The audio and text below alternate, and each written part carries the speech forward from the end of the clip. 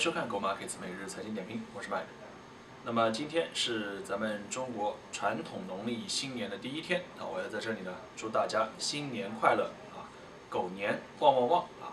看到了，今天我也是穿了一只小狗的衣服啊，希望呢，呃，在新的一年里也能给大家带来一些啊不一样的新鲜气氛啊。好了，我们还是说一下这昨天全球金融市场走势。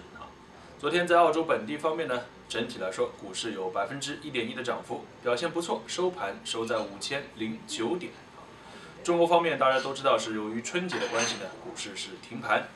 欧洲股市昨天有百分之零点三至百分之一的上涨。同样，美国股市也出现了五天的连续上涨。昨天三大指数呢都有百分之一点二至百分之一点五的涨幅。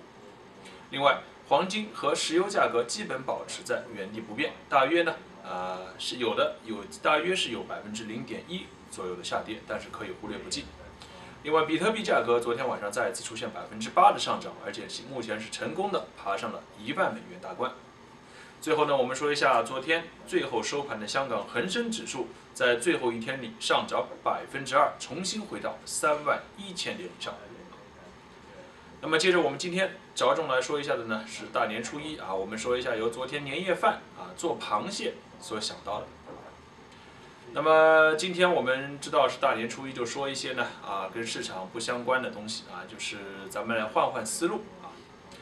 我觉得呢，在金融行业啊，这个如果我们不变化啊，或者说永远保持着一种模式去思考做做事呢，那很容易就会被这个时代所淘汰。可能有的朋友会觉得，这个像日本这样的匠人精神啊，他们不是。啊，三十年做一个产品啊，三十年磨一剑啊，只做一个事儿，不是也能把它做得很好？啊其实我说的这个不断进取、不断改变，和这个所谓的匠人精神呢，其实是不矛盾啊。因为我们说的改变，其实也是在做一件事里面不断的钻研新的方法，改进我们的技术。就比如说，就像铁匠打铁一样，你要是三十年啊。用的都是一种方法去打铁，啊，中间不加任何的技术或者不加任何的成分的改进，那你的东西现在卖的和三十年前卖的是一样的啊，消费者还会喜欢吗？我们知道时代在进步，你的产品必须迎合消费者，你的产品必须迎合这个时代才能够生存下去啊，绝大部分的情况都是这样的。那为什么我今天会说这个话题呢？主要就是因为呢。在昨天我们知道吃年夜饭的时候啊，我在微信朋友圈里面呢看到了这样一幅图啊，大家知道这幅图是啥呢？这个巨大的蟹壳啊是澳洲的帝王蟹啊。我们知道这个帝王蟹呢非常之大啊，通常在咱们普通家人的这个我们普通人家的呃炉灶上呢啊无法做，就是因为它壳太大，所以呢你没有办法炒。但是昨天我在一个朋友他朋友圈里面放出来啊，他自己成功的制作了这个帝王蟹，而且还是一个啊，这个看上去像是一个盐焗姜葱的啊。我们知道你蒸蟹呢也就算了，有大个锅去蒸蒸啊，在自己家里面如何做这个姜葱盐焗？我就问他，然后他跟我说，他不是用锅做的，而是用的是蒸箱啊，他把这个蟹呢。涂了一遍油，切完之后啊，然后在蒸箱里面烤了十五分钟，拿出来就可以了。然后我才恍然大悟，为什么呢？如果我们把这个方式和方法老是固定在呢，如何用锅去炒那个蟹，那你毫无疑问的是呢，你不论用什么办法，在家里的锅肯定是做不出来的，只能换一种思路。像他用的就是用蒸箱去炒。啊，去蒸啊！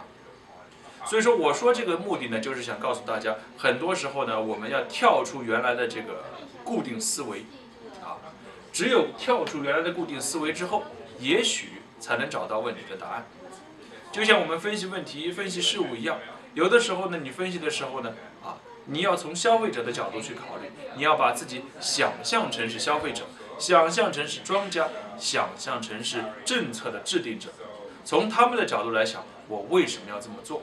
或者我为了达到这样的目的，我需要用什么办法？啊，当然了，我知道呢，我这个这个说来说去呀，大家都会觉得这大年初一的说这些有啥用啊？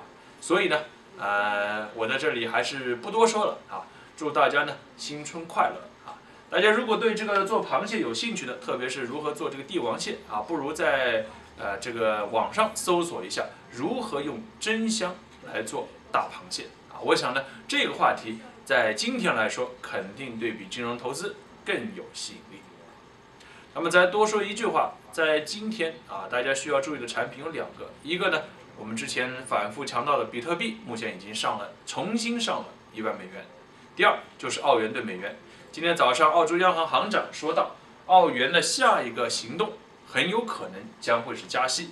因此，我们看到澳元在今天过去的十个小时之内涨幅是非常的迅猛，即将突破新高，我们要重点关注。